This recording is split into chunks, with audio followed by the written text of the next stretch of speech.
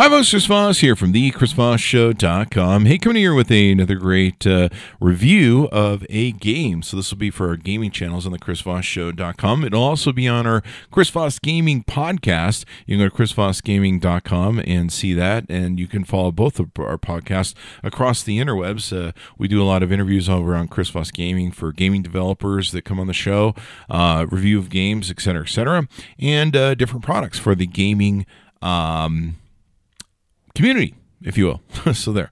Uh, so anyway, we're going to talk about one of my favorite games of all time, Destiny, uh, made by the developer Bungie, and uh, this is their first big DLC launch. They're launching the Destiny 2 Shadowkeep DLC, and uh, it's pretty interesting what they are launching. So let's talk about what I think about it. Now, like I said, I've been uh, a fan of Destiny for uh, since its beginning. I've been a year one player since almost the very first moment. Um, and I've loved the game. I've been very addicted to it. I played the hell out of it. Uh, I was really in love with Destiny 1. Uh, Destiny 2 had a lot of initial problems that drove a lot of p- players from the game, including myself.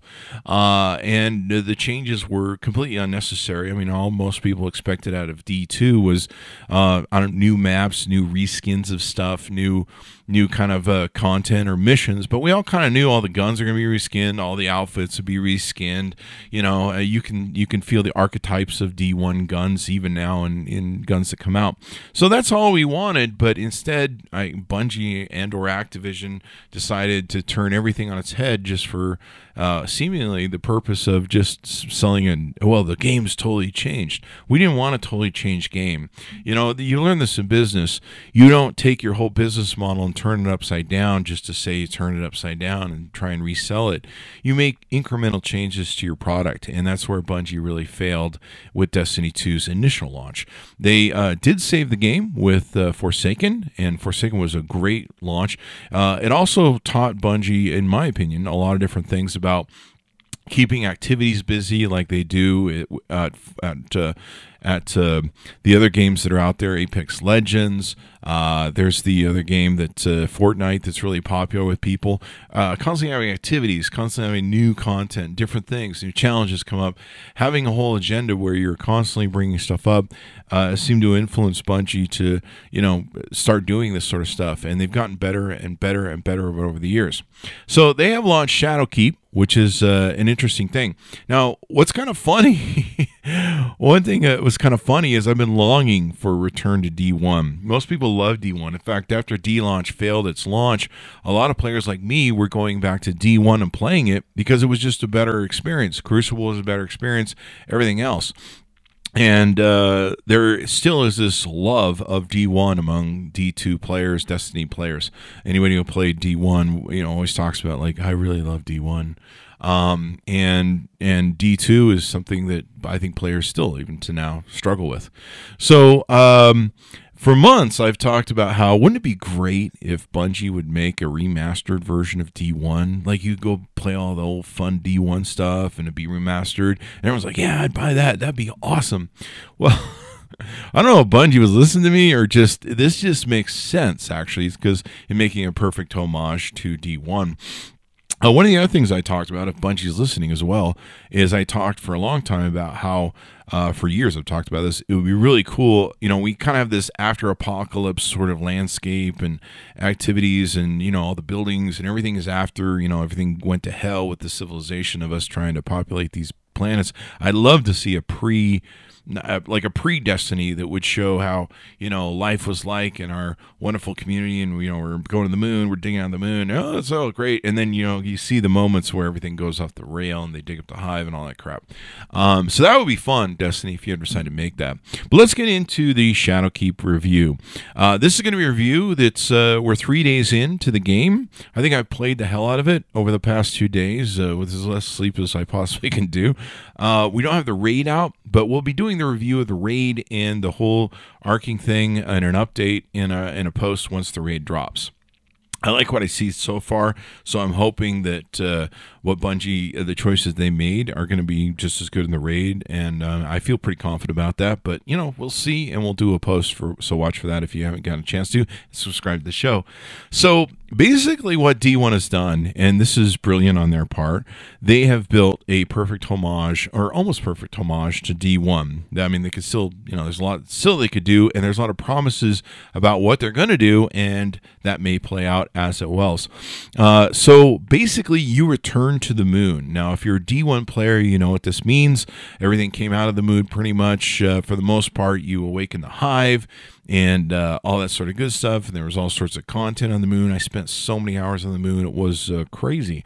So uh, you're returning to the moon to fight the new, more powerful hive. You're fi- finding discoveries. You're finding new things that are at the base and core of why the hive are on the moon and and what goes on behind that getting deeper into the lore and the story and everything else. But I got to tell you, being a Destiny 1 player, having Bungie return us to the moon, having Bungie return us to places like the Cosmodrome, and we're actually playing the remastered maps and everything else of uh, of the thing. I don't even know if they redid them, but they uh, they appear to be either remastered or redone. But it it basically feels the same, and it's just it's such a, a heartwarming return to something that we really loved, and I, I think probably one of the most uh, smartest plays Bungie could do with this new launch. Um, it's um, it's really just wonderful. It's like you play through it and you get goosebumps. You're like, wow, I'm playing in D1 again, my favorite game, the game that I loved. And it's probably really good too because it mixes the D2 and kind of takes away some of the sting that players still feel of D2 uh, being launched. So, uh, Let's talk about some of the other things. You, you really feel like you go back in the game. I, I really love that. Uh, initially, when you go through the story, uh, Bungie's been getting better at this. There's no more long four hour stories you got to hammer through just to uncrack the game and be able to play other parts of it. Uh, they've been off that for a while, but they did a really good job this time, I think, of being able to not make long story missions that you got to you got to complete them all to play the game, um, and you can jump in and out of the story missions, which is really nice. And some of the story missions are just kind of scrummy, where you can have other players and they're in public areas. Uh, some, you know, you got to go on some missions to play, but they're not long, extensive, boring missions. Uh, they're not the sort of missions that we saw that were horrible, like with the Red War and and uh, the Osiris stuff, which uh, just uh, people hated that. Um, I love how they've set it up where you can get in, you can get out, you can kind of do them at your own pace, you can have fun, you can enjoy the game. You're not locked into like, you can't do anything until you complete our story. Um, so I like how they set it up. I like how they, it's very easy to consume. You don't feel grinded, uh, and you just want to keep playing the game because you're not burnt out doing some stupid story. And you can easily go play with your friends. Like if your friend called, hey, you want to go play some Gambit real quick? Oh, yeah, cool, man. I'm in the story sequence, but you know, I, I'm in a place I can go play with you and you know, I can come back to that later. I think that just makes for a better experience for community and everything else. Um, the Crucible was the big thing that drove a lot of people from the game, and I really, really love Bungie what you did with Crucible. You still need a lot of work, but I love what you've done so far. You've uh, I used to play Crucible eight hours a day, and I love Clash. And anybody who's good loved Clash. One of the things that people hate, hate, hate, hate, hate in Destiny 2 is the fact that Iron Banner, which used to be the premier uh, sort of game place to play for most of the community. I mean, if you were Ultra Premier, you played in Trials, but for most of the community, we loved playing uh, Iron Banana, Iron Banner. we call it the banana, but you know that's a D1 thing. Uh, so Iron Banner was awesome, but anybody who was a really good player loved playing Iron Banner Clash and hated Iron Banner Control. Uh, somewhere in the failure of launch of D2, uh, Bungie had to create, you know, uh, Iron Banner that was just solely uh, based upon team shooting and and cruise and control, and people hated it. I still hate it to this day.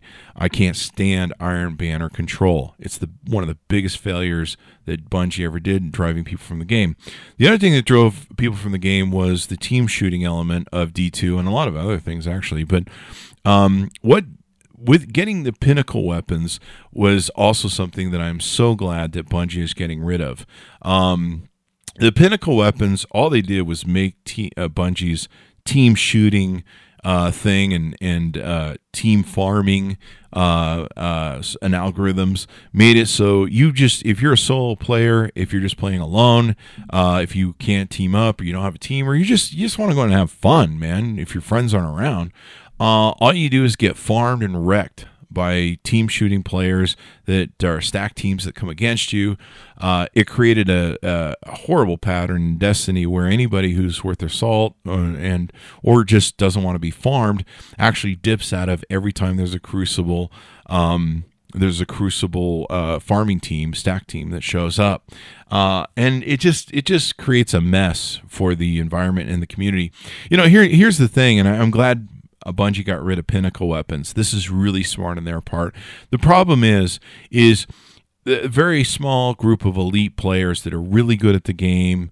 Uh, they go and get the pinnacle weapons. These guys are already good at the game. They're already going to top the leaderboards, and they're already going to farm the crap out of players and make them hate the game.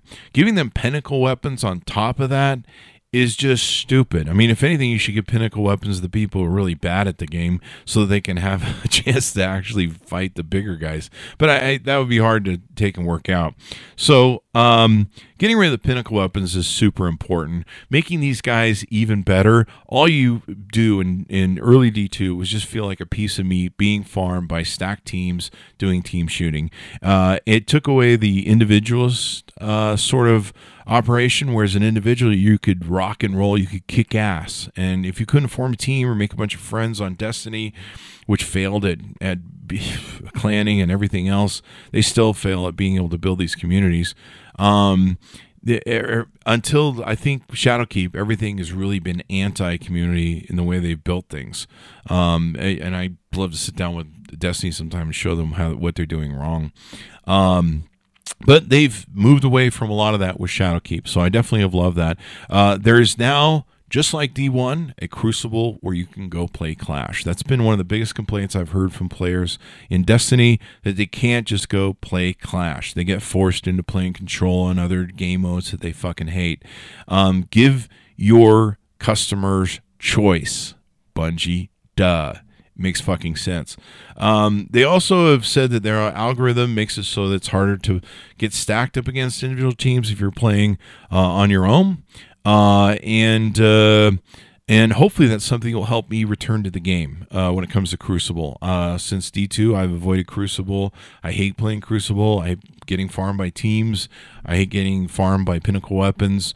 Uh, it just ruined the game. You ba- basically Bungie's one of Bungie's biggest failures over the years has constantly been listening to streamers, listening to their high end uh, ten percent, rich get richer base, and moding the game to them. Well, unfortunately, they've driven so many people off the game that are casual players. They feel like they have to uh, appeal to those people because. Um, those are the people who you know regularly play the game and are addicted to the game.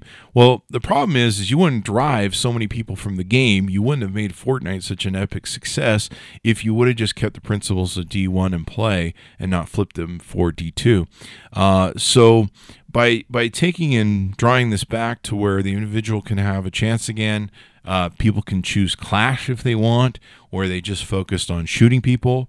One of the biggest problems you have with Control is people don't play the objective. So if you're trying to play the objective, especially in Iron Banner, you get really angry at the game and other players in the community uh, because they don't play the objective. They go play Clash when it's when it's Control. Why? Because no one fucking likes Clash or Control that's any good. So that's why.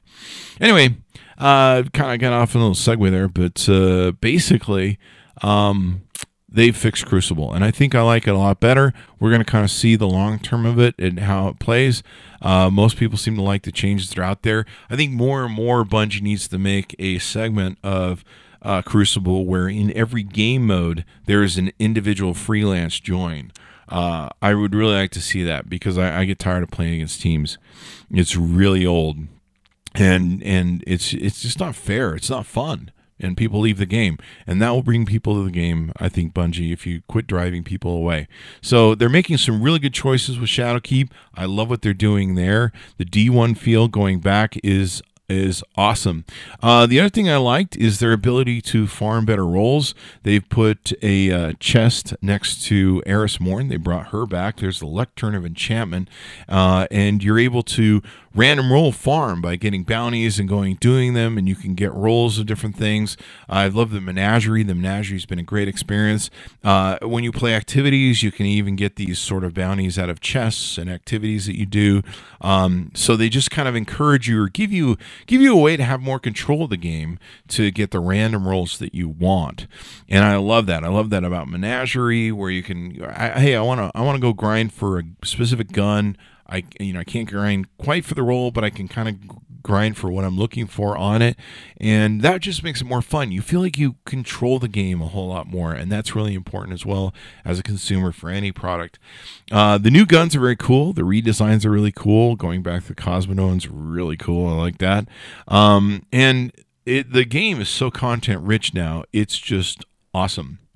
Uh, there's a lot of different things that they are uh, taking and doing, and I'm hoping that Steam can reinvigorate the PC base. The Activision uh, base on BattleNet really died hard when they issued the free version of D2. People uh, loaded into the game on, on PC and signed up and tried the game, and there just wasn't enough quality in what they were being offered to get them to stay the game and pony up the money.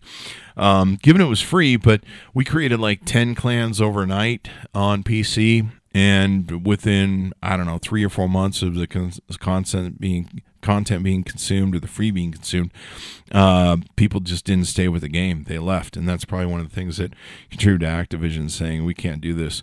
So I'm hoping that Steam is going to be a great PC reinvigoration of the base, get people to the game the free version they have of New Light, uh, that thing can be really awesome, hopefully to draw players to the game. And of course, they have the options of being more in the community than they were with BattleNet Activision launch of PC. Um, so I, I really, really like what I'm seeing so far on a lot of different facets as well. There's uh, a lot of different things they have put forth that they're going to be doing with the future roadmap of Shadowkeep. I like what uh, Bungie has put forth here. Uh, they've got uh, different seasons, of course, they're taking and doing. Uh, the seasonal update is free for all players, which is really nice. They're coming out with a uh, Garden of Salvation raid launch on October 5th. The Vex offensive activity begins the season of dying. Uh, there's going to be, let's see, Hero Legend, Nightmare Hunts, uh, Master Nightmare Hunts, Iron Banner, Exotic Quest for Leviathan's Breath Bow and Festival Lost, of course, in October. PvP modes will be coming out. Something called Momentum Control. Shadowkeep Dungeon launch. Uh, I've been loving the dungeon. I like the dungeon things. Those are fun. It's a three man raid basically. So yeah, get some fun with that. Exotic Quest for Divinity Trace Rifle, and then November there'll be a first raid challenge and an uh, Vex offensive. So uh, Bungie's gotten really good, and I like this Bungie about uh, making it so there's plenty of content content. There's plenty of new activities. You know, they're just not launching a DLC and being like, "Well, we'll see you guys in three months or six months or whatever." Um, they're they're they're keeping it fun and uh, activity rich. Uh, so let's talk about what I didn't like about Shadowkeep so far. Um, and it's kind of this is uh, uh, Bungie sometimes gives communities challenges to change the game, and in doing so, it does take the community a little bit of while to get it. But one of the biggest challenges is when it confuses. Um, casual players. So the one downside of Shadowkeep is the armor 2.0. It's very confusing to players. It's annoying to people who have built great outfits. I kind of get what Bungie's kind of trying to do. It does give us activity to grind for new outfits and stuff. I don't know why they couldn't just, you know, re-roll everything at, at uh, version 2.0. Uh, but I imagine they want us to go grind for more outfits and get the new gear and blah, blah, blah. Um, the community's going to adapt to it. It's nothing I think that's too big to overcome, but I'm finding a lot of people are just really confused at it. It's very what I like to call non intuitive, which is what we look for when we review products as to how easy it is for the consumer to adopt it, adapt it, understand it, and utilize it. And right now, I'm seeing a lot of confusion with that. Uh, there's a lot of different menu items that Bungie has added and different things, and some of it's a, might be a little bit overloaded, but we'll see what the community does with it. Um, the Nightfall is really poorly non-intuitive as well. There's uh, multiple Nightfalls. It's confusing how to use it. It's very it's very not clear. I mean, even players like me who've been in D1, we're all sitting around the D1 going, our players going, what the fuck is going on? I don't understand this. Um, if you're confusing D1 players that have been playing since D1, mm, you may want to rethink about what you're doing or how you're delivering it because that's the problem with non-intuitive issues. Uh, those are the only two main things that really stuck out at me. Uh, there's some beautiful new guns. There's an interesting uh, rocket launcher that's out there. That's uh, it's pretty much to die for. Uh, I love it. I love the design of it and everything that Bungie put into it. It is called the Deathbringer rocket launcher, and it's really neat uh, what they did with it, and a lot of fun. And there's a lot of other fun stuff they put in, and people seem to like the design of everything so far. The content of Shadowkeep is it looks kind of like a mixture of a Chinese lost city, uh, very doomish uh, alien castles kind of on the moon. The new enemies are very cool looking, uh, if not rehashed. I mean, you know, but they, they made them look cool. And uh, there's different elements of when you go through missions that kind of remind you of the raid, the initial raid from uh, the Crota raid. And of course, Crota's in there, and and uh, who else? We've got Ghaul. It's kind of like a, a, a, hallmark back to everything else. Just a great homage.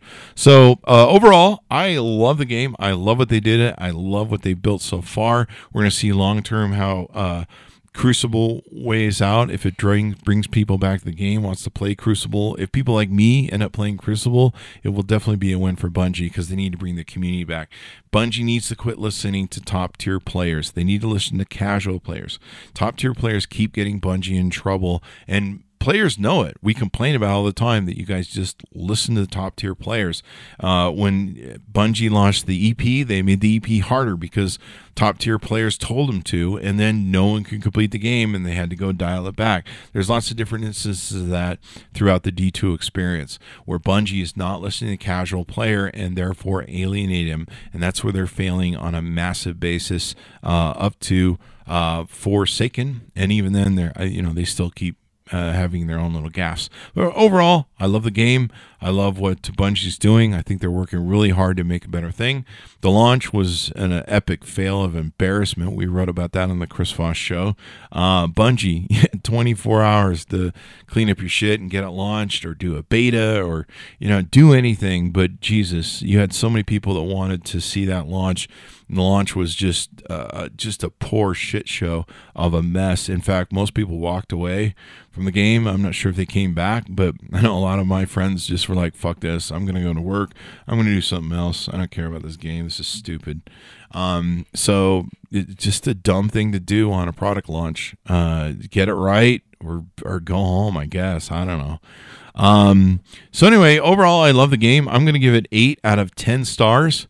Uh, like I said, the only two things that I think were downside is some of the non-intuitive confusion of the Nightfall and the Armor 2.0. It just seems like something that really didn't have to be done. Um, you know, at Bungie, you really need to get the fact that we just want new activities, new maps, new whatever. Try not to screw with our game. I do like how they've nerfed everything down, uh, the pinnacle weapons and everything, so everyone's on the same level. And that really comes down to you actualizing yourself um, in your own skill level as opposed to, well, somebody has a gun, so they're better than you. Um, when maybe they aren't, or maybe they are, and they're just now they're ten times better than you, and you're just you're just farming meat. Uh, and no one likes to be farming meat. So you know people like to excel in their own thing. So anyway, kudos to Bungie. Uh, overall, I'm really happy with it. I love what they've done with it. It's a great load of content. Eight out of ten stars I give it. Um, and uh, I think the community is going to adapt to the Armor 2.0. They're going to figure out the Nightfalls and how to beat them. That's what this community does. Uh, they're pretty brilliant at, at, even coming up with stuff that Bungie didn't think of. So I'm sure they'll uh, get through it. It's just initially. I, I, three, and I'm still hearing players go, I don't understand what's going on with this thing. Um, so you might want to take a look at that. But the con- it's really content rich right now in the game. It's the best time to play Destiny 2. There's so much stuff to do. You can't even choose from all the stuff or do everything. I suppose you could if you just don't sleep. But I think it's great because players have a lot of choices. They have a lot of different things they can do with their friends and everything else. And I hope Steam is going to just really bring in a lot of great player base to the PC thing. I'm really crossing my fingers and hoping that's going to happen. Anyway, guys, thanks for tuning in to the Chris Voss Show and Chris Voss Gaming Podcast. Be sure to subscribe to both iTunes, Google Play, uh, Spotify, every place on the internet you can think of. We are out there as well. Be sure to watch for my raid review coming up when that launches. Uh, we'll give you some ideas on what we think about that and what Bungie has done. Thanks for tuning in. We'll see you next time.